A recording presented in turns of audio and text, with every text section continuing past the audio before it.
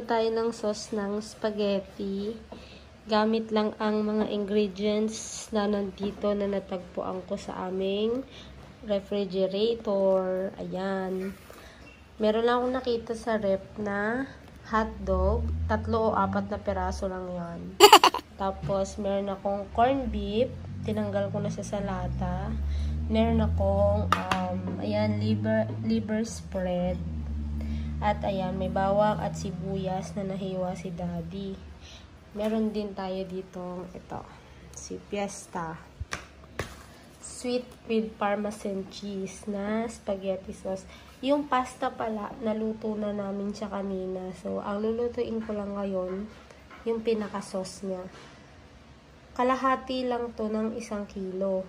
So, hindi namin siya niluto lahat kasi, yun, baka hindi maubos. Kaya, ayan. Magluluto na tayo sa simpleng ingredients lang. Ayan. Sala natin yung kalan. Tapos, painitin natin ang kaldero. Anong kaldero? Anong tawag dito? Oh, basta yun. Tapos, gagamit ako ng mantika na Golden Fiesta. Yan. Mag-isa lang akong nagtitake ng video na ito mga mamsi. Kaya isang kamay lang ang gagamitin natin. Yung isa.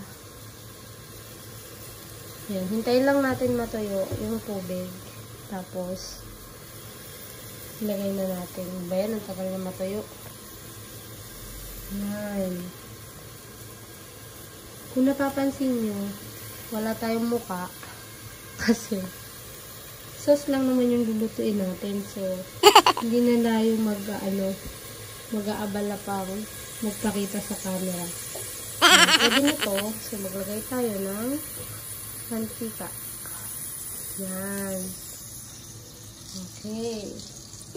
Pagkatapos,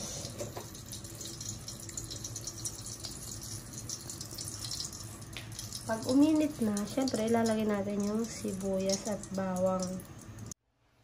Mainit na yung ating kawali. Lagay na natin yung bawang. Ayan. Tapos, yung napakadaming sibuyas si Daddy Mike. Napakadami naman sibuyas mo. Kaya ako lang eh. Ito lang ba yun? Yan. Bakit ako? Tapos, ilalagay na natin yung corn beef.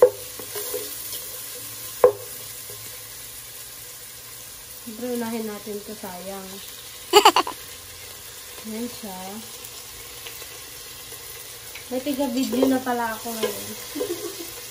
si Daddy. Ayusin mo yung pagkuha niya. Baka paling-paling yan ah.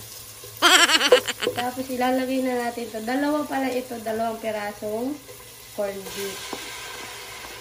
Yan. Pwede nyo nang lakasan yung apoy pag nailagay nyo na yung corned beef.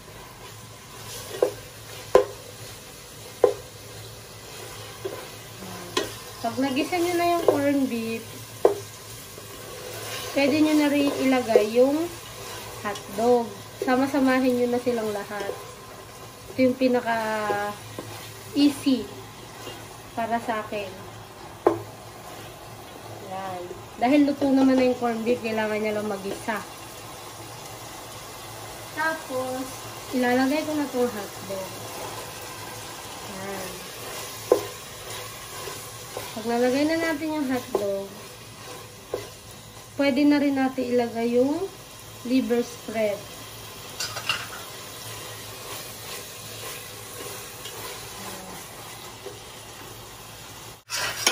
Lagay na natin to. Patsarain natin. Pero ba't parang kakaiba yung liver spread niya? Isa. Ayan. Sayang. So, okay. Meron pa. Okay.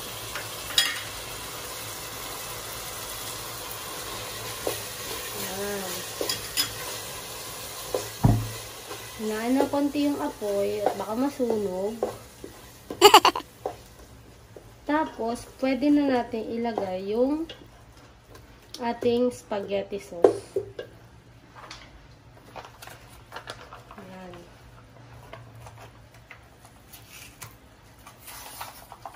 Ayan. Lagay na natin ang spaghetti sauce. Ayan.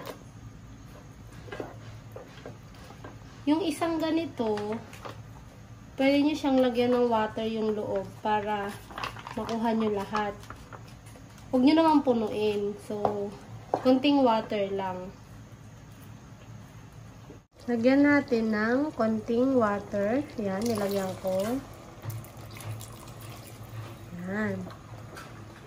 Tapos, haluin, haluin, haluin.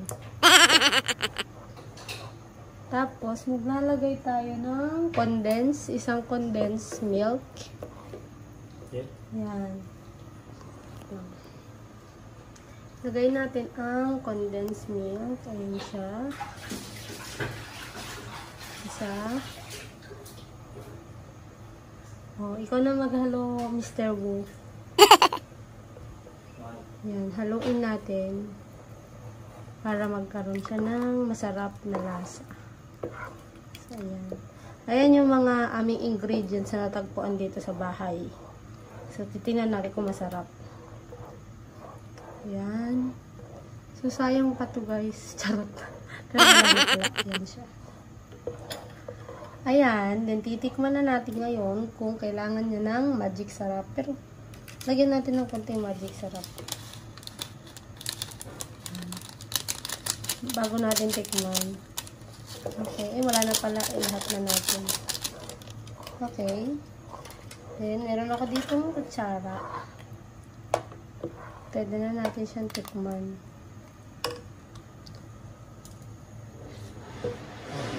Iba yung kulay dyan. Hmm, sarap. Ibang kulay dyan. Bakit iba kulay? Nabapula, di ba? Pareho lang kasi may gatas na. Kanina pala. may gatas. So, ayan. Nag-iba ang kulay kasi kanina wala siyang gatas. Ayan, pakuluin lang natin ng konti and pwede na po siyang um, sauce. Ay, may nakalimutan pa pala ako. Pepper pala. Maglagay tayo ng pepper. Asan yun? Um, ito, black pepper na ground. So, ayan. Lagay tayo ng konti lang. One, two. Yan. Diba? Halo-halo. Halo-halo, konting kulo. Is that all? Yan. Pwede nyo lagyan ng cheese. Pwede rin ang wag. Pwede sa ibabaw na lang ng pasta. Diyan na po, nagtatapos ako. Ayan na po ang finished product ng aming spaghetti. Yan. Marami ka nang malalagay dun sa ano na yon. Ma maubos nyo na tong pasta na go. Tapos, may matitira pa. Sa tingin ko kasi medyo madami yung nagawa kong sauce. Kasi pang 1 kilo siya talaga. So, ayan na siya. Ang ingredients niyan, yung nakita, andito lang sa bahay. So, try natin. And na-try na namin, natikman namin masarap. So, try nyo mga momshi.